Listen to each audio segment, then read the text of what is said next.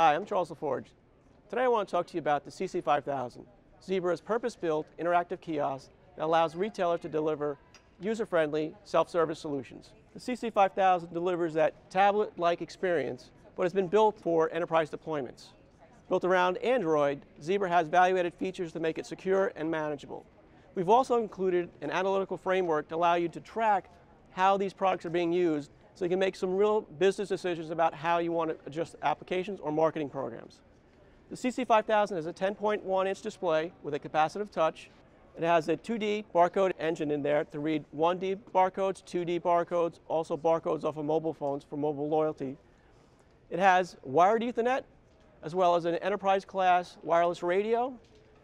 It has standard mounting features and can be mounted virtually anywhere in the store.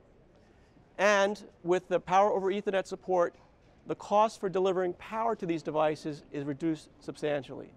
So the CC5000 is a great choice for delivering very user-friendly, tablet-like experiences in your store that is secure and manageable.